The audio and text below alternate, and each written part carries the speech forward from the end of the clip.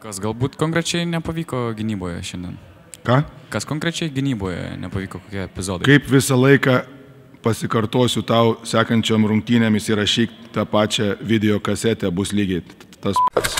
Baudos prieš bonusą ir po bonuso baudos žmogui metant į krepšį ir absoliučiai e, nesuprantimas, kuri yra stiprioji žaidėjo ranka.